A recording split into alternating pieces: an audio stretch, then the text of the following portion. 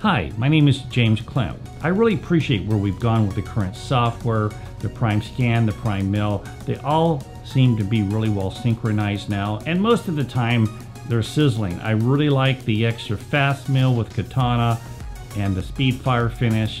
The precision, the fit, and the aesthetics is there. When I move to the anterior region, there's a tool that's missing in the current version of the software that we used to have, and I've relied on this tool for years. Yes, view options.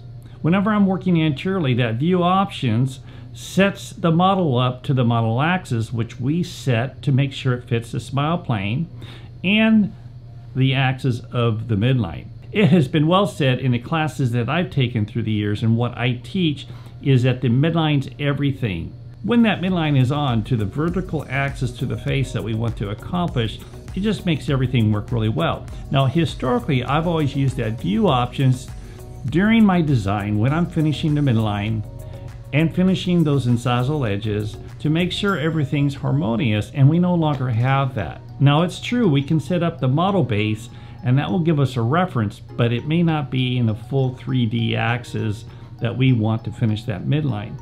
So this is my appeal to Dentsply Sirona because I know they watch this site and you may want to make some responses below. Do you want the view option back at least for model axis? I sure miss it and I don't know if you folks do, but I just had this question.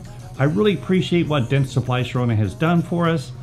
I couldn't live without this system. It's been the cornerstone of my career for at least a third of my career, and I really appreciate what it has done for us. But there are times you need to have that conversation with the family, right?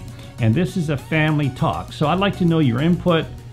And let's see, maybe we could get Dentsply Sirona to put that view option back in, at least the model view option, so we can see the front and center when we're designing our anterior restorations. That would sure help me and make it work well for me.